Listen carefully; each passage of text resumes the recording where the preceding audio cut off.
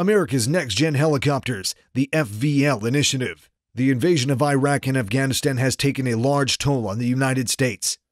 Other than monetary expenses, the loss of life has been more than the U.S. was willing to sustain. A particular area of concern arose when hundreds of helicopters and lives were lost in these conflicts.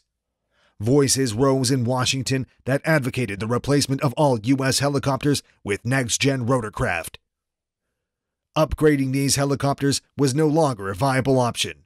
Thus, the FVL, Future Vertical Lift Initiative, began in 2008. So, without any further ado, let's begin the video. FVL. The major combat rotorcraft platforms in the U.S. inventory, like the Chinook, Blackhawk, Apache, and the Kiowa Warrior, are all based on old designs from the 60s or 70s. The FVL program is an R&D effort dedicated to discovering, investigating, and refining technologies that improve maneuverability, range, speed, payload, and survivability. The FVL is one of the top six modernization programs on the list of the military. However, FVL is still in its early stages, and aircrafts resulting from this program may not be seen till at least the early 2030s.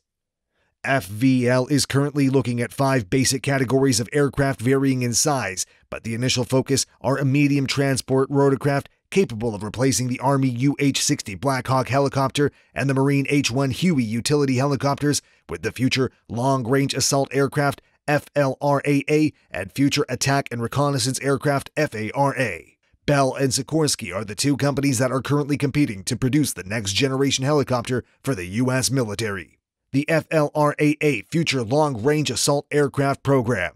The FLRAA program is responsible for replacing the Black Hawk, which, in addition to being an attack helicopter, was also used to transport troops.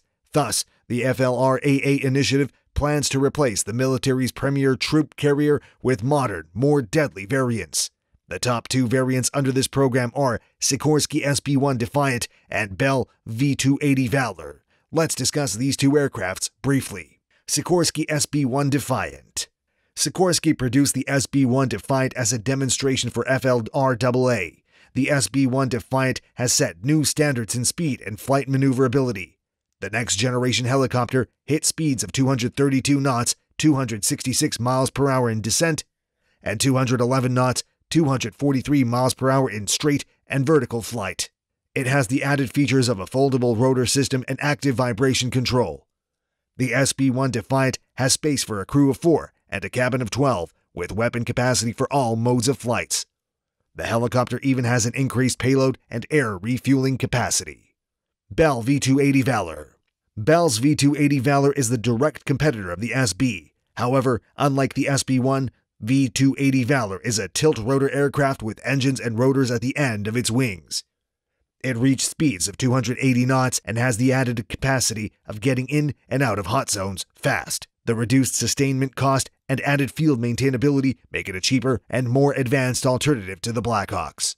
Both V-280 and the SB-1 will revolutionize the air arm of the U.S. military and will usher in a new era of air dominance. The FARA, Future Attack and Reconnaissance Aircraft Program. The FARA initiative was started to replace the Apache helicopters, the alpha dog of U.S. frontline forces. Now the FARA program will replace the Apaches with far more and lethal machines. For FARA, Sikorsky developed the S-97 Raider, while Bell answered with the Bell 360 Invictus. Sikorsky S-97 Raider. The S-97 Raider incorporates the latest advanced by-wire, flight controls, vehicle management system, and system integration. The technology enables the helicopter to operate at high speeds while maintaining great handling capacities. The Raider can be outfitted to a variety of military operations, including light assault, light attack, armed reconnaissance, and close air support missions. It's a technological marvel from Lockheed Martin's top engineers. The helicopter has the potential to turn wars on its head if used right.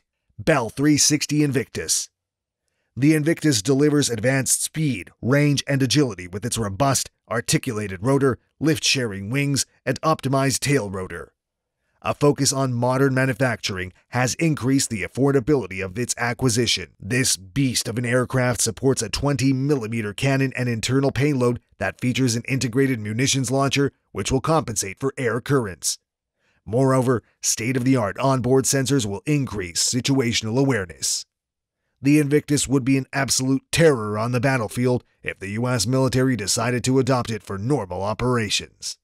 So that's all for today, folks. Hope you liked our videos. Give us a like and comment to show your support. If this is your first time watching our video, hit the subscribe button to show your support. Oh, and before you leave, hit the bell icon to receive instant notifications about our videos. See you in the next video.